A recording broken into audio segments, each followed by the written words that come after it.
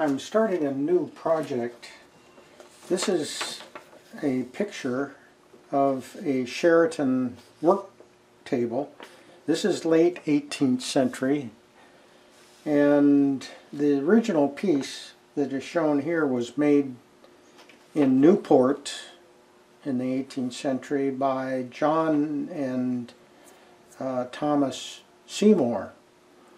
So the legs are typical um, Sheraton style, uh, tapered and turned. However, a lot of times in this kind of furniture you see these reeded tapered reeded tapered legs. This was from a previous Sheraton piece that I made years ago. And in this case, they did not use reeds. There are there is embedded uh, banding um, in in these in these grooves. There's six grooves, and I'm in the process now of of uh, creating those grooves for the banding. Now, in the turning, um, there are these little beads up here, and of course this taper, which is typical. Then at the bottom will be the brass casters. Now, I, as, as typical for me, I create these models then from the pictures in SketchUp and here is my assembly in in SketchUp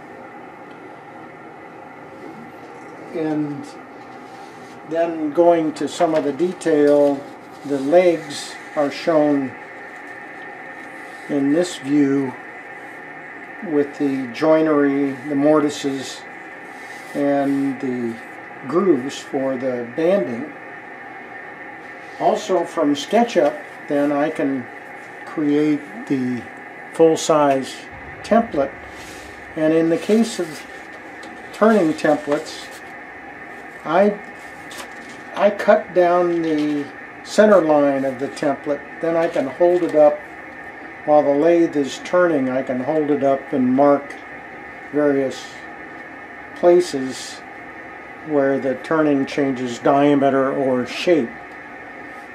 So these work out quite well for the turning.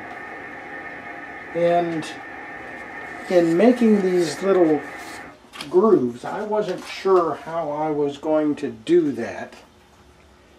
And the first thing that I do is, of course, there are these uh,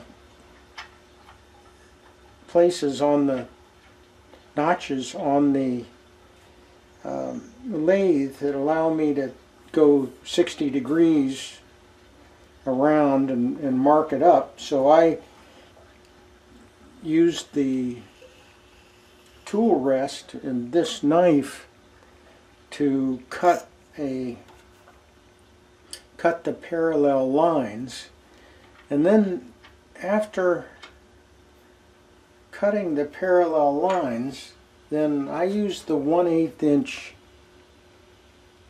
chisel. Perhaps I can zero in a little bit on this.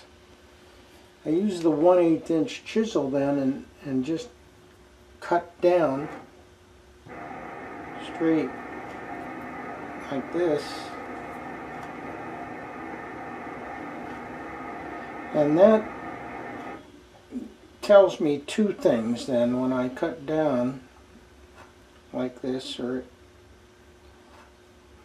it also it tells me that the, the width whether I've got the parallel cuts with the knife in in a proper width. And it also if, if a little strip starts to tear out it stops the tear out. And I guess a third thing that it does is that it it uh, it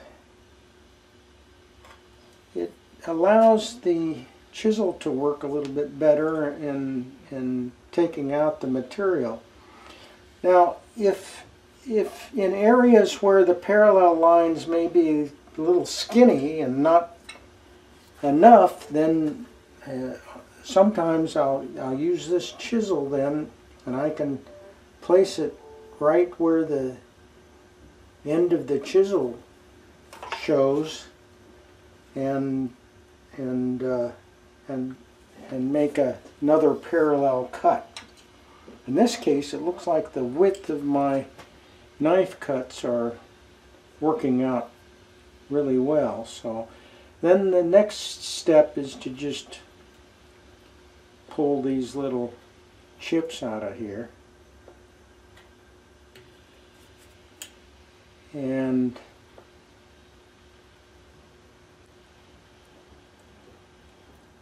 and then um, the banding is a 36 32nd inch thick. And so I don't have to go very deep here. I'm tearing out a little bit on the edge there but I think it's okay. This I'll I'll put the banding in with hot hide glue. I've just tried a, a piece of banding in this location here just to see how it works I haven't glued it totally I stuck it in here temporarily. The, actually, the banding that I'm going to use will be black and white like this, but it's uh, going to be a little bit different design. So that's on order and uh, should be here in a few days. So I got to make six of these channels and then glue six of these um, pieces into here. And then of course up in the top portion of the leg, the square portion of the leg, this will all be veneered in a pattern much like much like this. I'll have some crotch uh, maple uh, in this area here and then some banding around the outside and also a, a piece uh, in the horizontal position here. And that's done on two faces. So this kind of a inlay will be done on this this area up here.